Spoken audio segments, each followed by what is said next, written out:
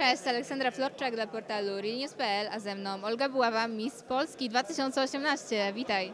Witaj, miło Cię widzieć. Ciebie również. Nie spodziewałam się, że Ciebie mogę tutaj spotkać na konferencji High League. Skąd w ogóle Twoja obecność tutaj? Ja myślę, że w ogóle teraz takie e, walki to jest chyba najbardziej taki hot temat E, i interesuje, nie wiem, większość moich znajomych nawet. Więc stąd moja obecność.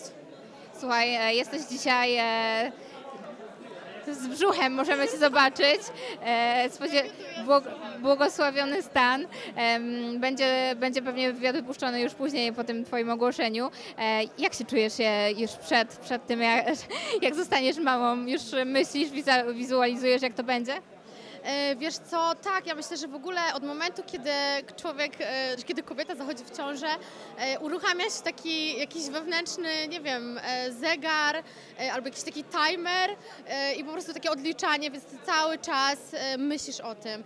Dla mnie to jest w ogóle główny temat teraz moich zainteresowań, książek, filmów na YouTubie, wszystkiego po prostu. Jakby to ciąża i w ogóle macierzyństwo zdominowało moje życie w 100% na ten moment. Czy Ty już e, zrobiłaś sobie przerwę od e, pracy w locie? Mm, Tak, tak, bo y, generalnie jest tak, w sensie nie w każdych liniach, ale akurat w Polsce jest takie prawo, że w momencie, kiedy zachodzisz w ciążę, to nie możesz już latać. Y, No jest to właściwie łatwo y, wytłumaczyć, dlaczego taka sytuacja ma miejsce, ponieważ jest to praca fizyczna, ciężka praca fizyczna, są przeciążenia i tak dalej, więc y, nie byłoby to środowisko wskazane, na pewno niezdrowe dla rozwijającej się ciąży, więc no siłą rzeczy zeszłam z pokładu i jestem nie lotem obecnie. Właśnie widziałam na Twoim Instagramie, że robiłaś taką ankietę, co ludzie wiedzą na temat te, tego, jak naprawdę wygląda praca stewardessy i chyba okazuje się, że nie wszyscy wiedzą dobrze wszystko. Y, Cały czas jeszcze krąży wiele takich mitów z poprzednich lat, myślę, i, i, i takich, wiesz, stereotypów, tak? Tak samo jak na temat i konkursów Miss, tak i na temat e, pracy stewardessy jest wiele stereotypów i ja tak po prostu e, hobbystycznie od czasu do czasu lubię z tymi moimi followersami e, sobie porozmawiać na ten temat. I edukować przy I okazji. edukować, dokładnie. A jeżeli właśnie chodzi o konkursy Miss, e, co najlepiej wspominasz? Może jakieś wyjazdy zagraniczne i reprezentowanie naszego kraju? Zgadłaś. E, Myślę, że to najwspanialsze w ogóle wspomnienie to jest wyjazd na Miss Universe. Ostatnio widziałam się w ogóle z Miss Izraela, bo była w Polsce i dała mi znać, że jest, więc e, oprowadziłam ją trochę po Warszawie.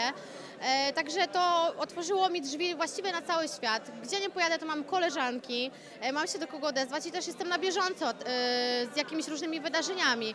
Nawet jakich nie rozumiem, na przykład ostatnio właśnie odnośnie Miss Izraela wrzucała jakieś tam instastory do siebie, po w ogóle jakby nie było ono tłumaczone ani na angielski, więc ja kompletnie nie wiedziałam o co jej chodzi, tylko same obrazki, jakby wycinki z telewizji.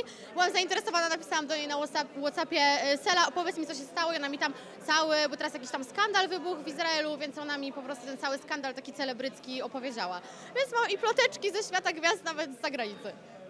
I dużo się dzieje. A słuchaj, czy Ty e, myślałaś o tym, żeby e, przebranżowić się po tym, jak zostałaś Miss i zostałaś bardziej rozpoznawalna, na przykład e, udzielając się w telewizji? Wiesz co, y, to zawsze było moim marzeniem gdzieś tam, y, żeby, żeby może poprowadzić na przykład program podróżniczy albo urodowy, bo uwielbiam y, pielęgnację urody, koreańską szczególnie, od kiedy latam do Korei. E, Przepraszam, latałam do Korei. E, Także jak najbardziej, ale to chyba nie jest takie proste, że po prostu się wygrywa jakiś konkurs i, i od razu można występować w telewizji. E, Więc może przyjdzie taki czas, że, że się e, gdzieś tam pojawię, to by było super, a, a jeśli nie, no to może jest dla mnie inny po prostu, jest mi los spisany, o, o tak. Na pewno będzie, na pewno będzie dla Ciebie dobry los, a szczególnie e, będziesz na pewno wspaniałą mamą i to będzie dla Ciebie e, największa duma. Mm, A powiedz, e, jak w ogóle wrażenia po tej konferencji dzisiejszej?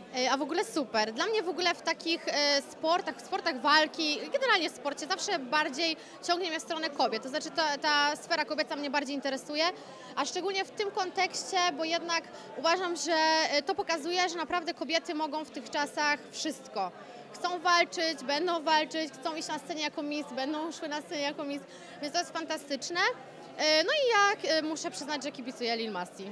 Także trzymam kciuki mocno. A właśnie jak, e, jak oceniasz to zachowanie Ewy Brodnickiej, która wytoczyła ostre działa na tej konferencji? Znaczy ja myślę, że w ogóle to jest też show, tak? Więc to jest normalne, że ludzie sobie tam wytaczają ostre, ostre teksty, ale na pewno bardzo podobała mi się klasa Lil Masti. I to jak ona odpowiadała, jej riposty, y, także 100% Team Masti.